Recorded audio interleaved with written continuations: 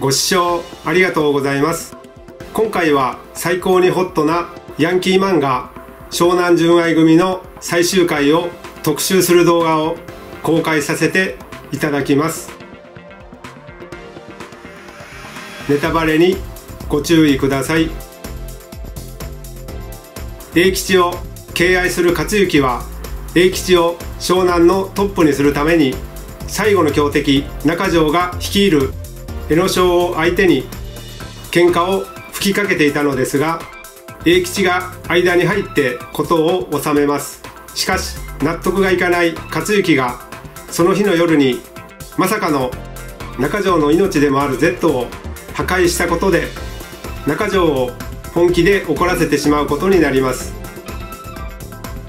その後克行たちの暴挙を知った鬼幕コンビが克行たちの暴走を止めに来るのですが克行が鬼塚親衛隊40名いつでも命を捨てる覚悟はできてますと伝えます。するとそれを聞いた栄吉が中条は本気だから逃げろと指示を出したことで克行が中条が怖いんですか？と言って栄吉の顔をじーっと見続けたことで栄吉が思わず中条なんぞ怖くない。と発します。すると克行が聞いたかお前ら。中条なんか怖くねえからよ。分かったなお前ら。と発した。その時複数台の単車と車さらに道具を持った何者かが向かってくるのですがその何者かは日本刀を握りしめた中条でした。すると鬼幕コンビが中条を止めにかかるのですが中条が俺の Z をやりやがった克行を葬り去ると言い放ちます。すると克行がクソ Z ぐらいで大騒ぎしやがってと発したことで田村が中条さんにそんな口を聞いて生きて暮らせると思ってんのかと発します。そして克行と田村の睨み合いが始まり一触即発の空気が漂ったその時鬼塚親衛隊の伊達天がこの場に現れます。そして江ノ省の男たちに攻撃を仕掛けていきます。すると中条が再び暴れ出したことで栄吉を敬愛する男たちと江ノ省軍団のバトルが始まります。すると栄吉が単車に乗って何かを実行しようとするのですがその何かとは複数台の単車の爆破でした。そして栄吉がいい加減にしねえと俺も切れんぞと発したその時中条の Z に火が燃え移ります。すると中条が江ノ省と辻堂は戦争だ。町であったら即潰し合いだ。と言ってこの場を去っていきます。翌日早速克行たちが江ノ省の生徒を追い回して大暴れした上に湘南は鬼塚さんのもんだ。と豪語していました。するとそのことを聞いた龍二派の日野健たちが龍二のもとを訪れて鬼塚親衛隊の話を聞きました。それに対抗するために爆竜隊ドラゴンファイヤーを作りました。総勢70名龍二さんのために命を張ります。と伝えたことで困り果てた龍二が塞ぎ込んでしまいます。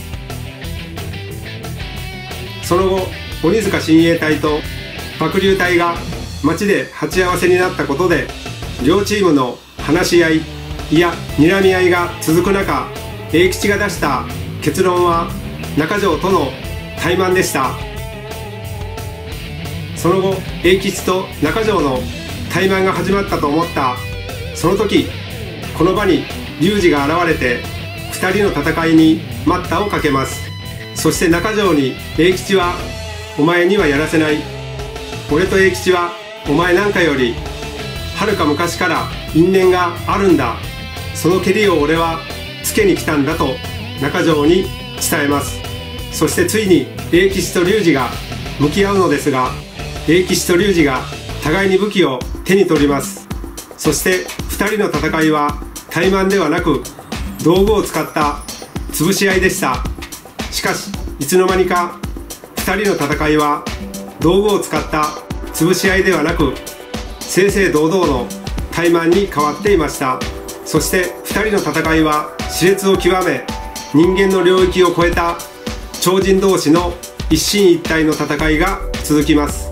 しかしここで一升瓶を拾い上げた龍二が一升瓶を栄吉に叩き込みます。すると今度は栄吉がハンマーを持ち上げて攻撃を仕掛けようとしたその時龍二が手にしたナイフの刃が栄吉に襲いかかるのですが今度は栄吉が手にしたナイフの刃が龍二に襲いかかります。そして栄吉と龍二が共にこの場に崩れ落ちます。すると栄吉がバカばっかりやりすぎた。ツケが回ってきたかな？と発すると龍二がそのようだぜ。そろそろ終わりにするか？と発します。そして栄吉が何が湘南の頭だよ。痛えだけだよ。悪いけど俺らそういうの引退するよ。と言って立ち上がります。そして何をしようとしているのか屋上の壁の上に上がって栄吉と龍二が振り向いて「あばよ」と発した。その直後に栄吉と龍二が屋上から飛び降りてしまいます。その後この場は静寂に包まれて阿久津が2人に刺さったナイフをじーっと眺めていました。それから数日後忍びが花を手向けていました。すると阿久津が「おめえら本当にあいつらがこの世を去ったと思っているのか。こんなドッキリナイフで」と言ってナイフを指でついたことに唖然とした忍びたちの時が止まります。その頃とある場所の港に得体の知れない生き物の頭が浮かんでいたのですがその正体は栄吉と龍二でした。そして栄吉がとりあえず南の島でも行くかと発してこの描写を最後に残念ながら湘南純愛組の幕が降りてしまいます。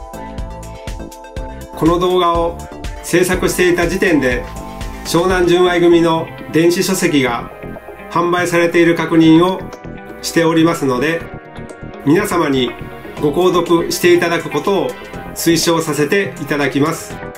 重ねてチャンネル登録さらにコメントをいただければ幸いです。